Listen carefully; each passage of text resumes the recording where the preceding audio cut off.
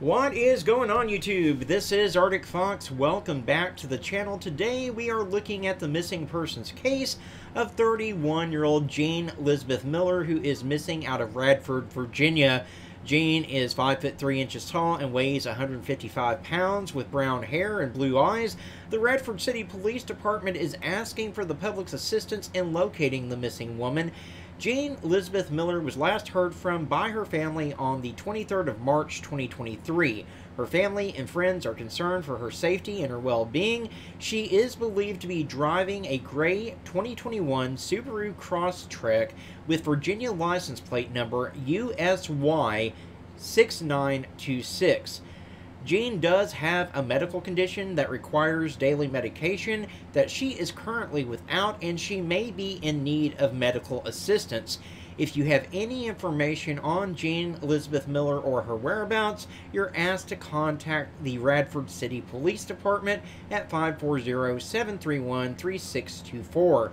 Guys, this woman has been missing now since the 23rd of March. It is currently the 28th of March as I'm recording this video. So we're talking about five days that Jane has been missing. And even though she does suffer from this medical condition, there has not been a silver alert issued for her at this time. So we do need to get her face out there on social media, guys. Do me a favor, give the video a like. It does help more people to see Jean's face, and the more people that see her, the better the chances are that we can bring her home safe. Also, if you're not subscribed to the channel yet, consider clicking that subscribe button. It certainly helps the channel out, and if you ring that notification bell, you'll always be alerted whenever I post another missing persons video.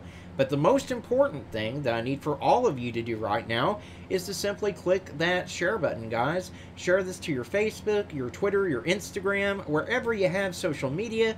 Guys, it takes one second of your time to do, and it could make all the difference in the world in whether we're able to find Jean and bring her home safe or not. As always, guys, I do want to thank you so much for tuning in and watching. I appreciate each and every single one of you. Y'all be kind to one another out there, and let's bring Jean home safe.